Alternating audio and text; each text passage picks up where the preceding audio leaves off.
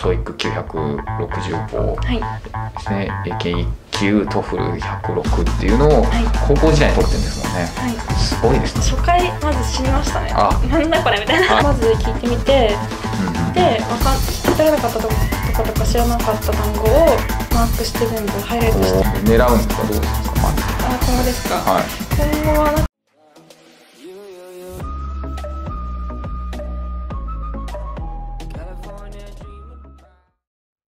なんか Hello there! 始まりました。森手チャンネルです。今回はですね、えー、再びですね、えー、英語のですね、フリーランス反応ですね、えー、ちかさんにおいでいただきました。はい、ありがとうございます。ありがとうございます。ですね、えっ、ー、と、ちかさんのですね、えー、Twitter and TikTok のですね、えー、リンクが貼ってありますので、ぜひですね、概要欄をチェックしてですね、ぜひフォローしてみてください。そして、このチャンネルもぜひですね、ちかさんのファンで初めて見る方ですね、えー、ぜひチャンネル登録よろしくお願いします。お願いします。はい。えっ、ー、と、今回はそうですね、あもう第1回目のやつがすごい大反響で。ね、もっと出てほしいということでですね、はい、ですね、今度は、ね、今回はですね、えー、またお越しいただきました。ありがとうございます。ありがとうございます。実践してきたですね、えー、英語のですね、えー、どうやって勉強してきたのかっていうのをちょっと聞きたいと思うんですけども、はい、まあ前回そうですね、普通じゃないすごい反省の話をですね、いろいろと聞いたんですけども、はいえー、そうですよね。すごいですね。なんて中学校で留学。さらに、えー、高校でまた留学と言ってそれで留年なしっていうですね。すごい羨ましい限りのですね、えー、方法を取ってきた。方法を取ってきたというかニュージーランドオーストラリアですね行ったっていうことなんですけど具体的にそうですねどんな勉強してきたっていうのを聞きたいんですけど、はい、で大学入試自体はもう英語一本で行ったんですもんね、はい、なのでその英語をどうやってやったのかってですね。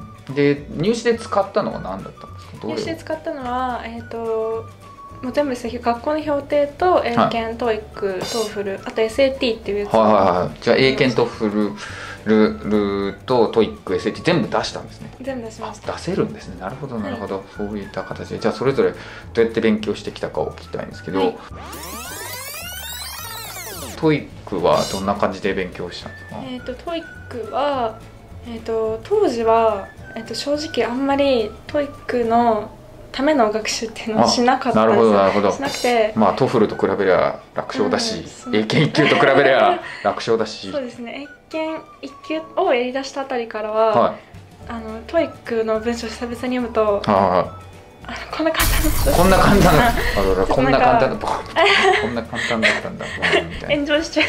大丈夫です。いやなんかちょっと本当そのぐらいあの多分コーチトレーニングになったんですよ、ね、はいはいはいはいそうですね。はい。とかが、はい、 TOEFLとか。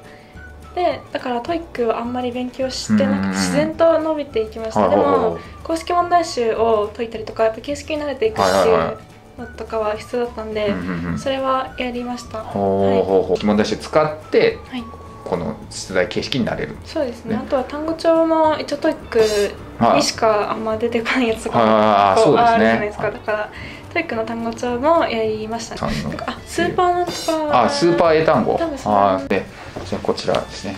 まあちかさんが出てる時はきっと見てる人が多いと思って、ね、はい。えー、っとまあちかさんにはこの入門書は向かないと思うんですが一応 TOEIC L&Rテスト頻出英単語っていうのをですねあのコラボしてる人たちに差し上げてますので。ありがとうございます。はい。すみません。いい絵になりますね。今のところはサムネなのかなわかんないけど。はい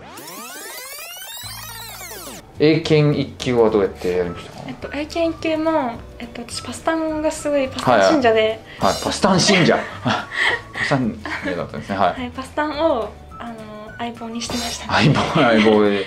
あ 留学先でもなんか単語帳やってたって言ってますね、ね、パス単を相棒に留学してたんですか？はい。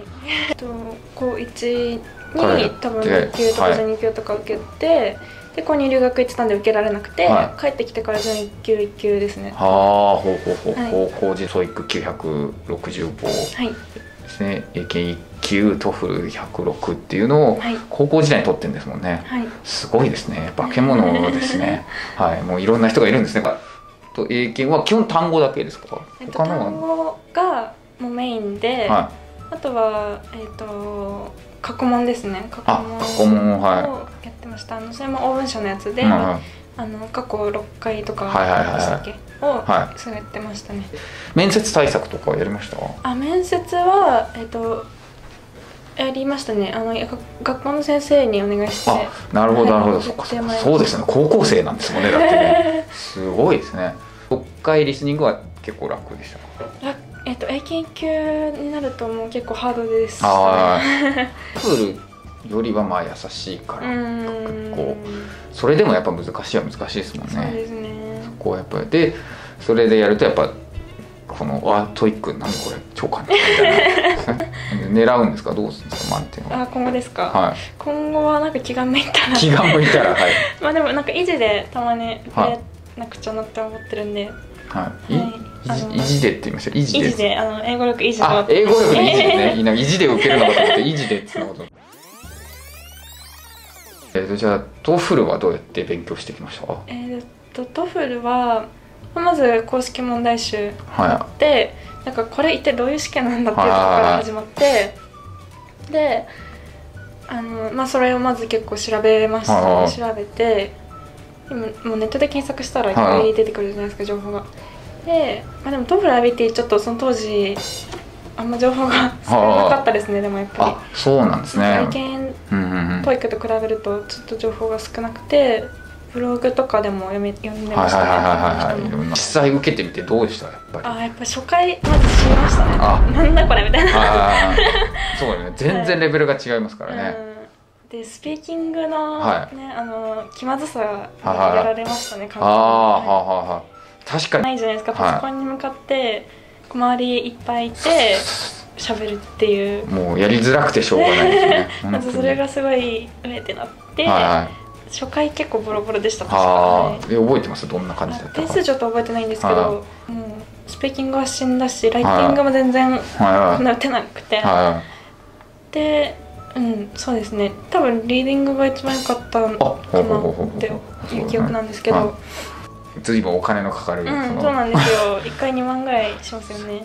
あその後その基本公式問題集で結構最初はだけを何回かやってであとはあの CD ロームついてるじゃないですか、はい、でこれなんか今まで英検 TOEICってペーパーだったから、はいはいはい、パソコンに向かってこうリーディングを読むっていうのが苦手だなって思ってでそれで CD ローム使ってパソコン上で本番と同様に問題を解くっていう練習をしたりとか、うん、をやりましたね。あとはそのスマホ上でネットの英語の記事を読むとか、時事系の時事ニュースですか？とかを読んだりしてますね。あとは単語帳は TOEFLの、えっと、5800あはいありますね。ありますね。はいはい5800、3800と5000、はい、ありますね。800、5600 3800はオレンジ色のやつですよね。うんうんうん、と単語帳としてというよりかは、あれってなんかそういう長文があって音声もついててっていう景色めちゃめちゃ難しくて、